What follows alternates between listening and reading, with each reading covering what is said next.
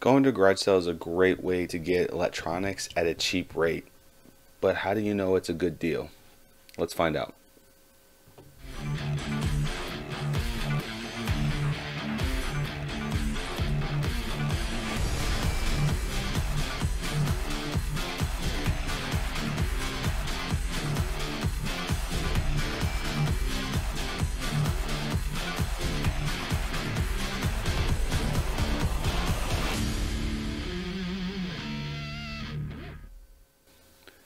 Going to garage sales are a great opportunity to pick up electronics on the cheap. Um, sometimes you will luck out and get a 500 gigabyte hard drive for like 20 $25.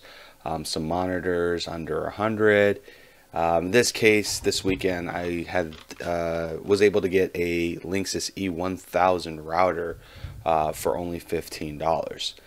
Now the question becomes: Is this a good deal, right? And um, when you're when it comes to electronics, there's predominantly two things you need to look at. Inevitably, the price is going to be the first thing, right? Uh, you want to make sure that for any used device that you're not getting swindled. Um, there's no use in paying um, $100 for a device when it really only values at $10. Just throwing some numbers out there. But the other thing, which arguably is more important in my opinion, is whether or not the manufacturer still supports the device and the sense of providing security updates. So we're going to go and take a look at this Cisco E1000 router. Um, I actually purchased it for $15. The going rate for the or the initial rate was actually 45 so I was able to bargain this one uh, down a bit uh, after speaking to them so Google's always your friend when it comes to searching for devices and uh, electronic devices and kind of getting a gauge of whether or not it is a good deal so um, I would just go ahead and put in the Linksys E1000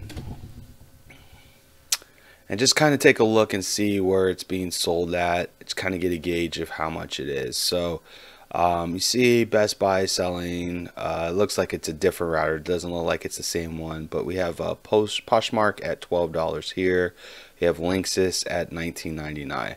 So from a pricing perspective, it looks like I did a pretty good job at, at, at getting this to the right price. Um, I seriously doubt that had it not been for the garage sale that this probably would not have sold or the uh, the seller would have probably lost money shipping it out to someone else. So I'm good with that piece of it, but now we need to go ahead and look and see if the manufacturer still supports this particular device. Um, so in this case here, we want to go ahead and see if there's a quick link to the E1000. Um, it looks like there's a support article here from Linksys. So I'm going to go ahead and click on that and see where that takes me. And um, I want to see if there is anything called an end of life support. So I'm to just do a control F and put end of, and there's nothing there. So what I'm to go ahead and do is I'm just going to go ahead and click on support here. And I'm going to go ahead and put E1000 on here and see if it gives me any information on it. I'm pressing enter. Oh, there it goes. And there it is, the wireless the uh, wireless N router right there. So we're going to go ahead and click on that. Okay. And we want to scroll down to downloads because that's predominantly where the firmware resides. There's a download software here, firmware.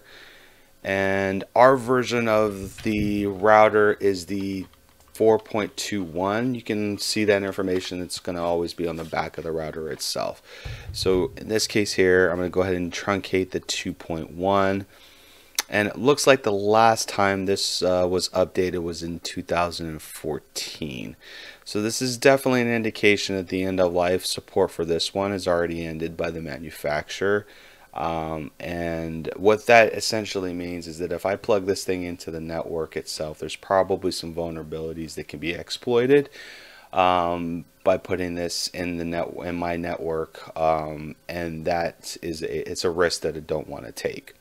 So does that mean that this is a bad deal?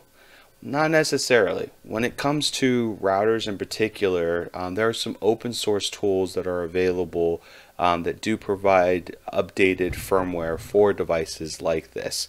So in this case, we're going to go to a website called www DRT. I probably did that wrong. DRT. No, I got it right. WWDRT. Just Google's our friend, so we're just going to put that in there. And it's a Linux-based firmware for wireless routers and access points. So essentially, it's instead of using Cisco's or Linksys's firmware, we're just going to flash this device here, and um, if they have uh, the firmware here. So let's go ahead and see if they do. We're going to go ahead and click on DDWRT. A lot of great information here. Since this is open source, um, it's going to be completely free to use, um, but they do accept donations, so give them uh, some support if you decide to go this route. So I'm going to go ahead and click on router database. And uh, looks like we got a little bit of a, uh, an ad here, which is kind of uh, something I'm not accustomed to getting. There we go. I must have clicked somewhere completely different. So I'm going to go ahead and put in the E1000. And remember, we got version 2.1 on this one here, so we want to see if that one is uh, is uh, available, and it does look like it is. Version 2.1 is supported.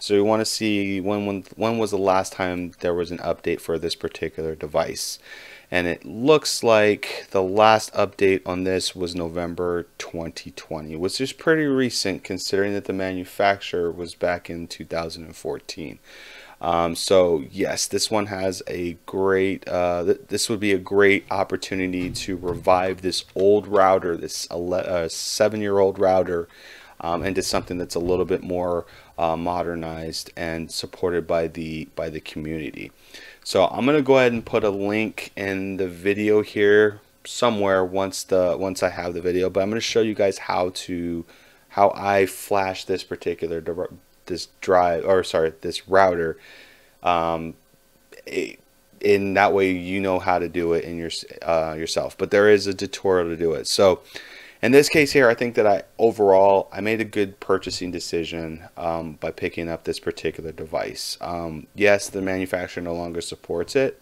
but what I can do with this device now is that I can set it up to where it um, extends the current Wi-Fi access I have in my home lab um, to other parts of the house um, that doesn't get a good reception. And that's kind of the focus of the next video that I will have for something like this. So um, just a quick recap, always check uh, before you make a, a major purchasing decision on uh, electronics, uh, used electronics. Make sure that you Google it. Um, usually just put in the manufacturer and the model number in there and just kind of get a gauge of where everyone is selling it and then try to try to get a good deal from that point on. The second thing that you probably would want to do is just to make sure that it's still being supported by the manufacturer. Um, the device is not going to be as good if this if the manufacturer no longer supports security updates for it. So. Uh, if you felt like this video was helpful for you, please uh, go ahead and like and comment on the video. Hit that subscribe button. We'll greatly appreciate it. Uh, y'all know the drill. Keep it real.